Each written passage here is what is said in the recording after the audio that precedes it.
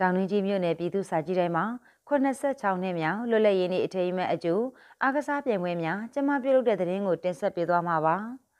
မကွေးတိုင်းဒေသကြီးတောင်တွင်းကြီးမြို့နယ်ပြန်ကြားရေးနှင့်ပြည်သူ့ဆက်ဆံရေးဦးစီးဌာန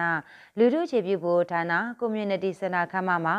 ရမန်နေ့နဲ့9နာရီခွဲအချိန်က86နှစ်မြောက်လွတ်လပ်ရေးနေ့အထိမ်းအမှတ်အကျိုးအားကစားပြိုင်ပွဲများကျမပြုလုပ်ခဲ့တယ်လို့သိရပါတယ်။ ရေဦးစွာပြန်ကြားရေးနှင့်ပြည်သူ့ဆက်ဆံရေးဦးစီးဌာနမြို့နယ်ဦးစီးမှုဒေါ်အေးမမမြင့်ကကလေးငယ်များညံရင်ညံသွေးထက်မြက်စေရန်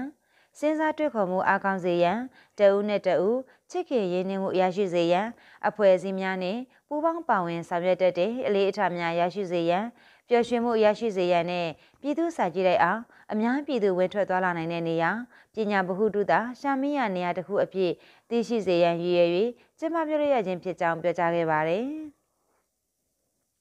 ဆက်လက်၍အားကစားပြိုင်ပွဲများဖြစ်တဲ့ကျအုပ်ကောက်ပြိုင်ပွဲ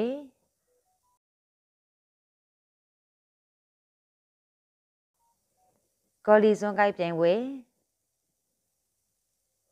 ကျိုးထိုးပြိုင်ပွဲ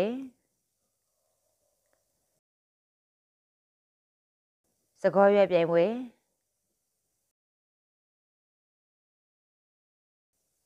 ထိုင်ကုန်လူပြိုင်ပွဲများကိုကျင်းပပြုလုပ်ခဲ့ရာ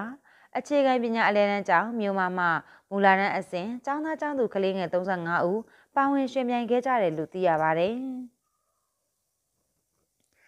အဆိုပါပြိုင်ပွဲများကိုပြန်ကြားရေးနှင့်ပြည်သူ့ဆက်ဆံရေးဦးစီးဌာနနဲ့မြို့မအခြေခံပညာအလဲတန်းကျောင်းတို့ပူးပေါင်းဆောင်ရွက်ခြင်းဖြစ်ပြီးကျောင်းသားကျောင်းသူများအားအမှတ်တရလက်ဆောင်များပေးရခဲ့တယ်လို့သိရပါတယ်။ဒီသတင်းကိုတော့ပြန်ကြားရေးနှင့်ပြည်သူ့ဆက်ဆံရေးဦးစီးဌာနတောင်တွင်းကြီးမြို့နယ်ရုံးကရိုက်ကူးပေးပို့ထားတာဖြစ်ပါတယ်။